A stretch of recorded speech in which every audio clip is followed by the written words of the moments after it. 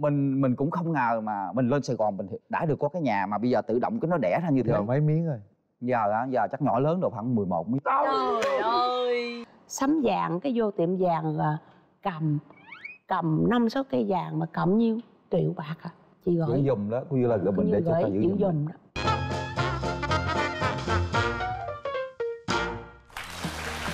Xin chào mừng quý vị và các bạn đã quay trở lại với chương trình Tình trăm năm. Chương trình được phát sóng vào lúc 17 giờ 50 phút trên kênh HTV7 vào thứ bảy hàng tuần. Xin được gửi lời cảm ơn đến nhãn hàng Alabio vượt qua nỗi sợ đái tháo đường đã đồng hành cùng chương trình.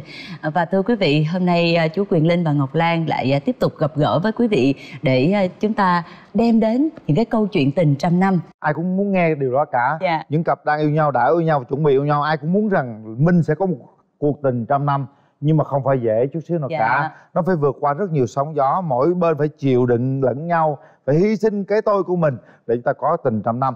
Ngày hôm nay cô linh à, cùng ngọc lan giới thiệu quý vị một câu chuyện cũng tình cũng gần trăm năm nhưng mà sẽ được trăm năm. À đó chính là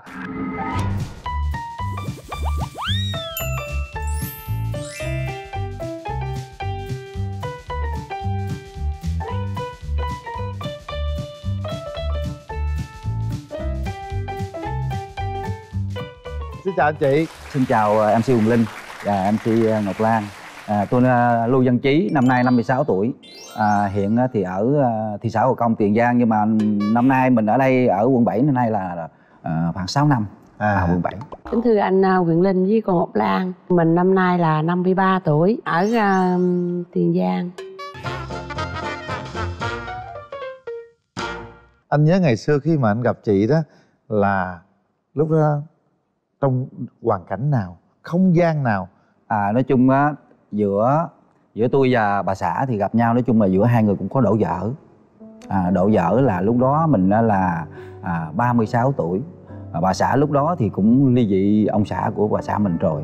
Nói chung là cũng có bán quán ở nhà có bán quán cà phê.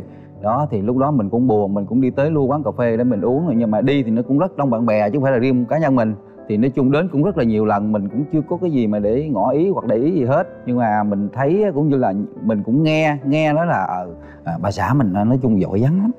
Đó rồi nói chung mình cũng từ từ mình mới hỏi thăm à chị ơi bây giờ chị cũng ly dị ông xã của chị xong chưa? Thí dụ bây giờ nếu mà chị có chấp nhận tôi á, thì bây giờ thôi giờ hai đứa mình kết lại à, sống chung với nhau đi để lo cho mấy đứa con. Đó là nói chung thì cũng dây dưa thời gian cũng trong vòng mấy tháng. Mình không biết bà xã mình có chấp nhận hay là không không? Thì nói đại vậy đi thí dụ bây giờ có chấp nhận hay không thì trả lời sao thì cái lúc đó cái thời mình cũng đi lên thí dụ vài bữa vài vài bữa mình cũng tới đó uống cà phê thì mình cũng hỏi thí dụ họ mỗi lần đến là mình hỏi. Nhưng mà hỏi cuối cùng là bà xã chấp nhận. Nếu mà anh thật lòng anh thương á thì anh đến với tôi. Nhưng mà tôi cũng không có cần mà à, giàu hay hoặc nghèo hay là gì đó. Thí dụ bây giờ anh nghèo tôi cũng chấp nhận. Nhưng mà tôi thì cái thật tôi nói thật. Tôi nói nói chung anh thì anh nghèo lắm. Tại anh ly dị á, bây giờ của cái tài sản anh để lại cho vợ với con cái tháo rồi. Thì nói chung là bà xã mình phải chấp nhận mình thôi anh về anh ở ờ, chung với em luôn để mà hai đứa mình cùng nhau để lo cho mấy đứa nhỏ. Nói chung lúc đó cái đứa lớn nhất thì nó cũng mới 14 tuổi thôi còn đứa Là- nhỏ nhất là nó 3 tuổi. Lúc đó con là của, của bà xã. là con của cô. Dạ. anh là mấy đứa- mấy người con? Anh thì nói chung cũng hai người con bà xã là là ba. À ba. Nhưng mà cuối cùng là á, mình có ở ờ, gặp bà xã nay là 20 21 năm rồi. Hai mươi mấy năm rồi. Rồi hai mấy năm rồi. Là cũng có sanh thằng cu nhỏ này được 13 tuổi đó qua chặng đường hai mươi mấy năm chung sống như thế mình có gặp với trắc trở có những cái mâu thuẫn nào nó dữ dội không anh? Trời nói chung bây giờ á, hai à, tôi với bà xã tôi sống thì nói chung nó vượt qua nó rất là nhiều cái khó khăn. Tại vì nói chung bây giờ hai đứa thì gặp nhau thì nói chung là tự lập thôi. À, vốn liếng của cải tài sản thì không có gì hết. Ví dụ bà xã thì có một cái cái cái cái cái nền cái nhà để mở cái quán bán cà phê chị ơi cái lúc mà anh nói là anh không có gì trong tay hết rồi tại sao anh chị lại chấp nhận anh như thế? Nói chung là tại vì hồi đó á, thì ảnh anh nói anh nghèo thiệt anh không có gì hết trơn á. Nhưng mà anh về anh sống anh lo làm ăn với em. Cái gì anh cũng làm được hết chuyện trong chuyện ngoài thì anh cũng làm được chứ anh không có ngại chuyện nào ông lần ba thì lúc đó thì à, à, mấy mới đồng ý và có nói vậy. Ai mà nghèo á nghèo cái bằng là chỉ bận một cái quần tà lõn thôi mà chấp nhận vô đây sống với em để làm ăn thì em chịu. Còn ai mà nhà lầu xa hơi á mà biểu em là bé là em cũng không có chịu đâu. Thì đến cái ngày mà dứt phát rõ ràng hết sự thật là mới là vô nhập vô là ở luôn liền luôn đó. Ờ, từ lúc quen nhau cho tới hai người ở chung bắt đầu nhập vô ở chung luôn á. Là cũng mấy lâu? tháng cũng bốn năm tháng á. Bốn năm tháng. Nhưng mà ông xã không có mở miệng nói câu gì tầm bậy. Lời ngày hôm nay là nói bằng sự thật luôn á. Mà lúc đó cô có sợ không cô trong cái giai đoạn mà chú uh, qua lại với cô để mà tìm hiểu với nhau trước á thì lúc đó cô có sợ về cái vấn đề là liệu rằng người đàn ông này có yêu thương con của mình hay không? À, lúc đó đó cũng sợ dữ lắm. Sợ dữ lắm nhưng mà nói chung là ông xã hiền lắm. Hiền mà nói ra lời chân thật không nói chung là uh, cái nghèo như thế nào cũng vẫn nói thiệt. Nhưng mà tới trường về sống chung á thì trong cái thời gian đó cũng rất là lo sợ bởi vì á, là hai bên không có chấp nhận buổi đầu. Từ cái chỗ không chấp nhận cho nên mình rất là sợ. Không biết là ông có ở đời với mình không để mang tiếng đời chồng nữa. Không biết mình có nhiều rủi ông lấy đi hết ráo rồi mình làm sao? Con mình nữa ăn ngủ không có yên đâu nói thật bằng sự thật. Hồi đó giờ chưa bao giờ nói cho ông xã nghe. Nhưng mà trong cái thời gian đó ăn ngủ không có yên.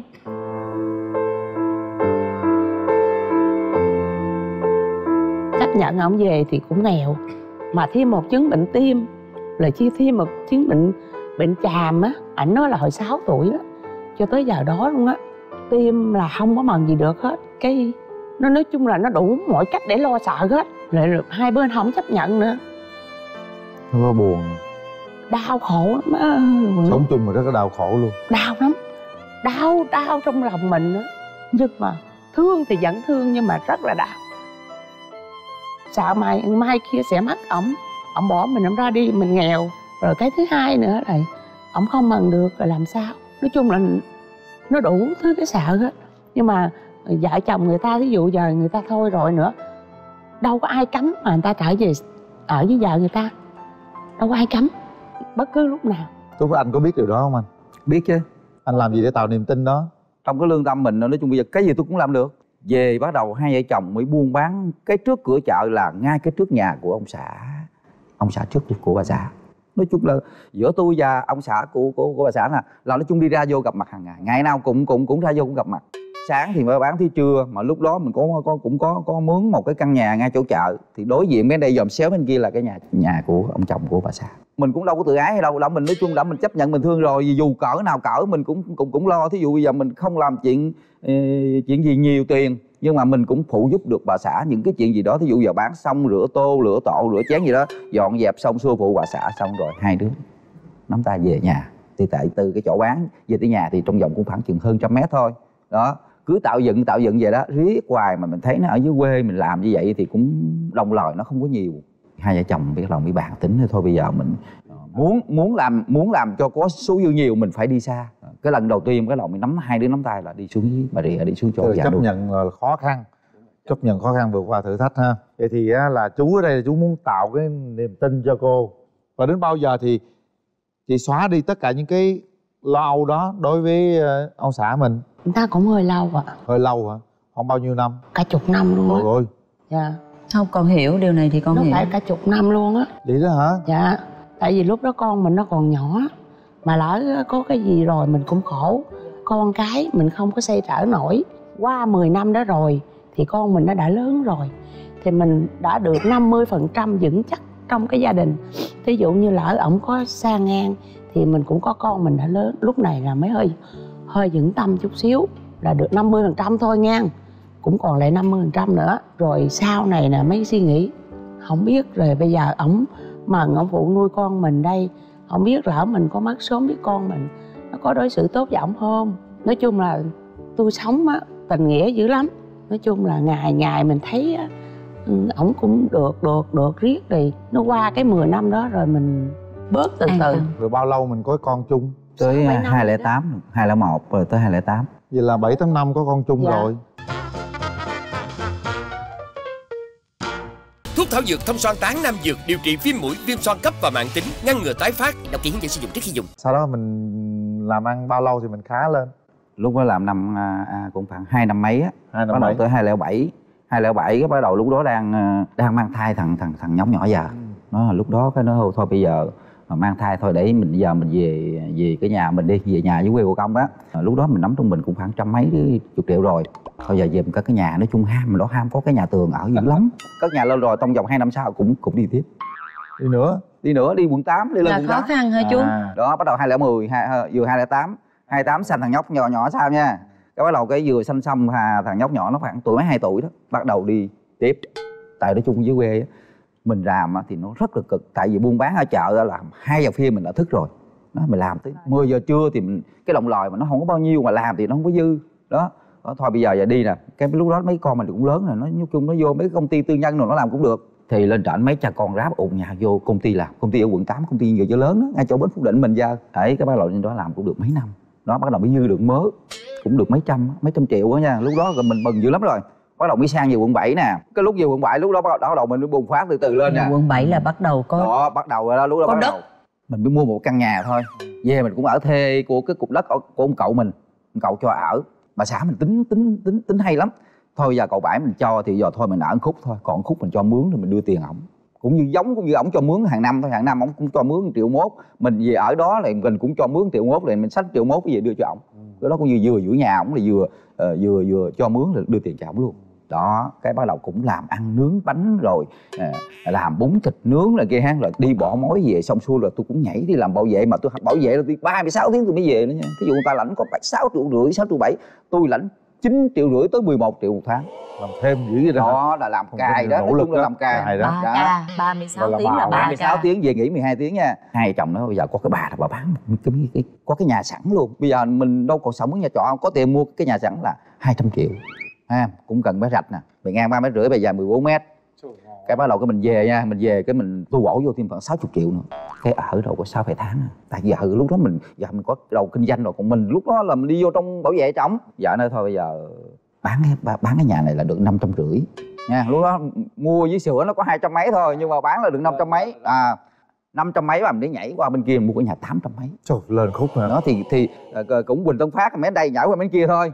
Mua cái nhà tám trăm rưỡi cái mình ở cũng chưa được năm. Cái bắt đầu cái lơ cái bán được một tỷ ba mấy chục đó.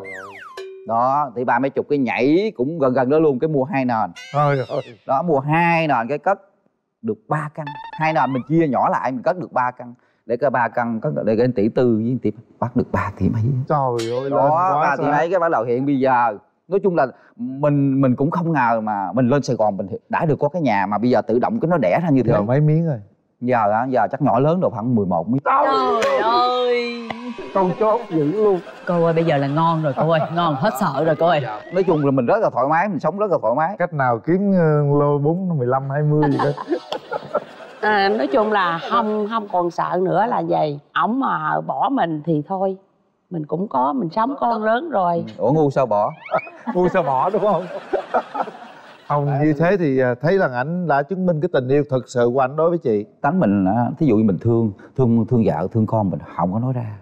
Thí dụ là lủi lủi thí dụ công việc mình thấy làm được mình cứ làm nhưng mà cái đầu óc mình lúc đó tại mình cái đồng tiền mình đâu có đâu mình dám tính cái cái cái cái, cái mức cao đúng không bắt đầu nó đẻ là đẻ nhờ cái căn nhà cặp mấy rạch mà 200 triệu rồi sửa lại từ từ bắt đầu 500 mới 800 800 mới lên tỷ mấy từ từ mình mới nó mới đẻ đẻ từ từ ra. Mai chú dẫn đi mua con nhà Cây rạch. cây rạch không nó nó cũng ờ, từ cái cái cái nguồn mà ờ, thức đêm thức hôm chứ nếu mình không chịu khó mà để thức đêm thức hôm thì mình đâu có mua được cái cái căn nhà nhỏ đó. Nhưng lúc chị sanh á ảnh chăm sóc chị thế nào nói chung là lúc có bầu là hai đứa đứa nào mắc cỡ á. Tính ở với vũng tàu luôn rồi sanh rồi biết đi rồi mới về luôn. Ủa sao mắc cỡ? Lớn tuổi rồi. Lớn tuổi rồi bốn mấy rồi? Mà lúc đó trong mình ôm trăm mấy chục triệu á theo như mình có người thân thì mình gửi này không dám gửi luôn. Tại vì người người thân của mình đâu có chấp nhận đâu. Cái biết sao không? Cái sắm vàng cái vô tiệm vàng à, cầm cầm năm sáu cây vàng mà cầm nhiêu?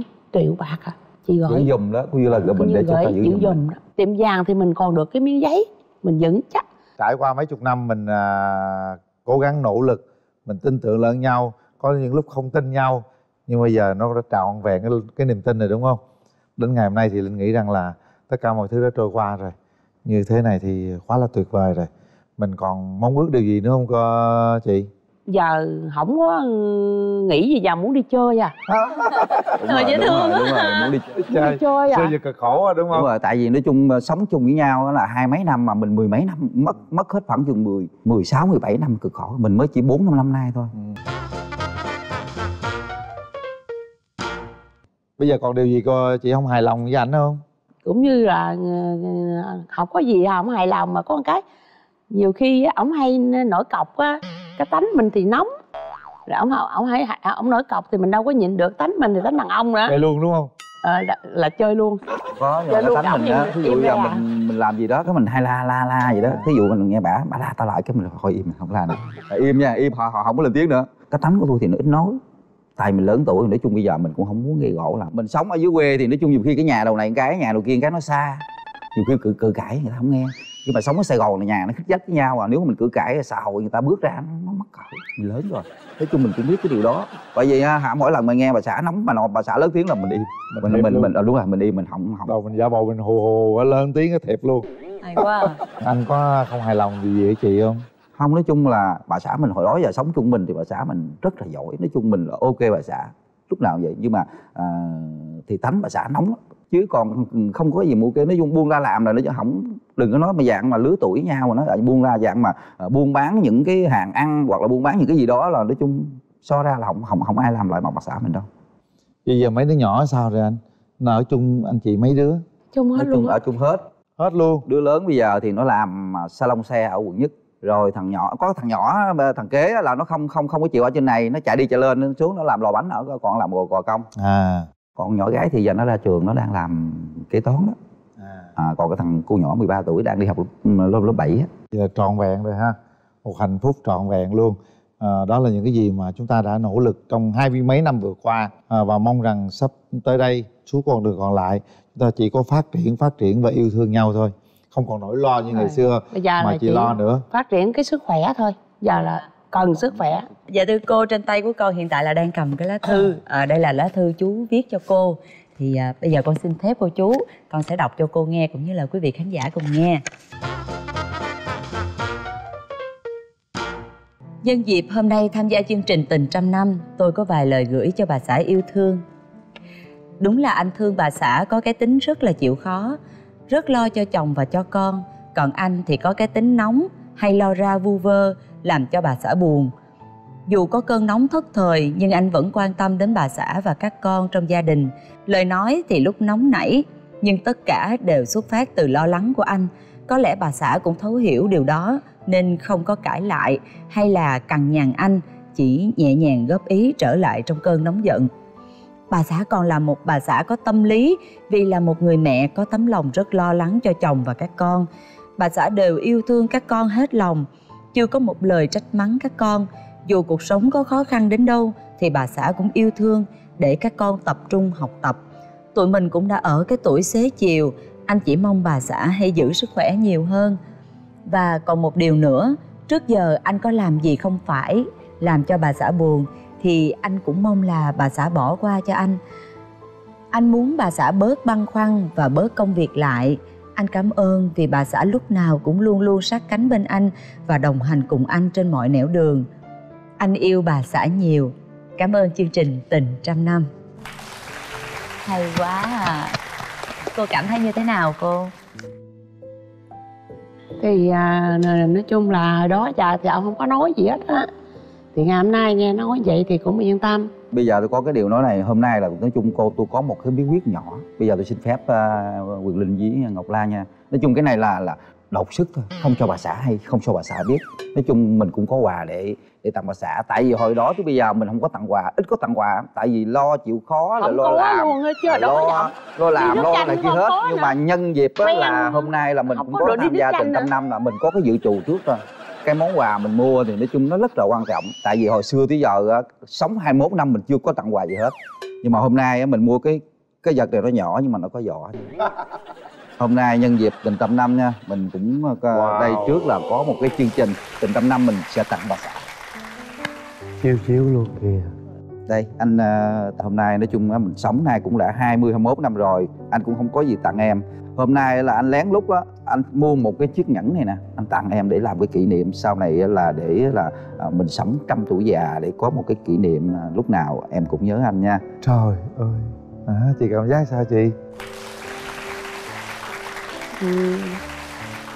em cũng à, cảm ơn ông xã đó giờ ông xã chưa cho mình ly nước chanh mà ngày hôm nay ông xã cho mình cái này mình rất là mừng và cảm ơn ông xã Trời À, ờ, hôm nay thì chương trình cũng có một cái món quà dành tặng cho cô chú. Bây giờ con xin mời cô chú ngước mắt lên màn hình.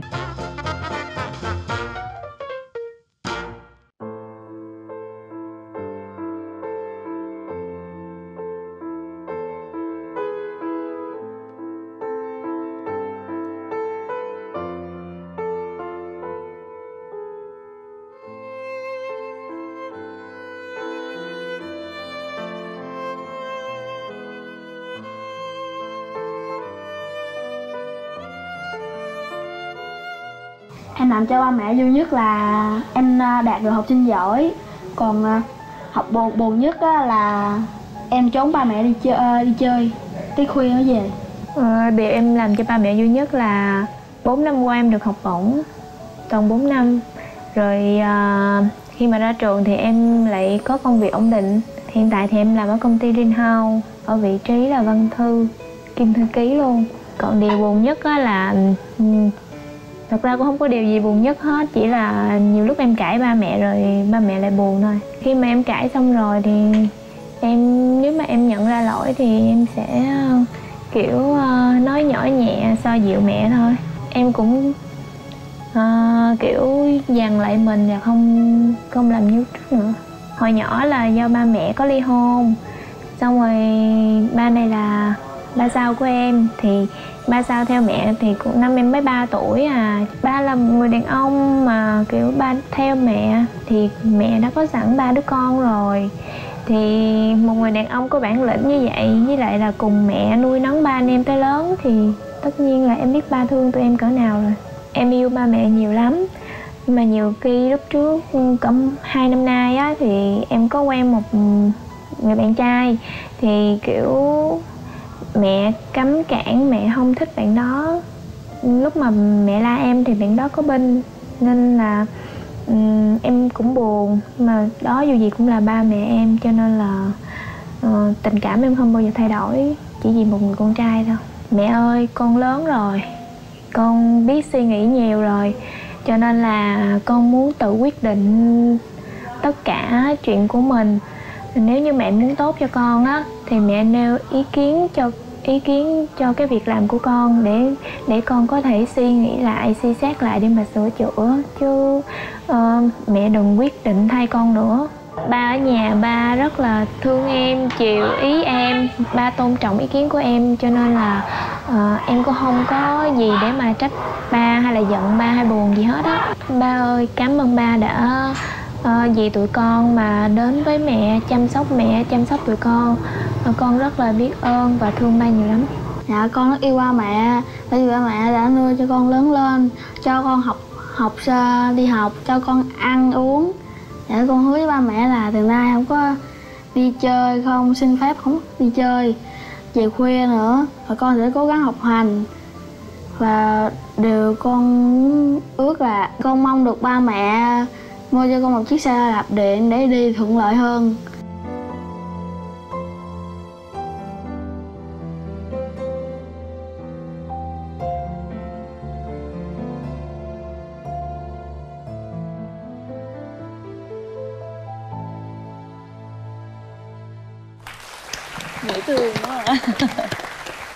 Sao khi nghe con nó nói thì à, ông bà suy nghĩ điều gì nè?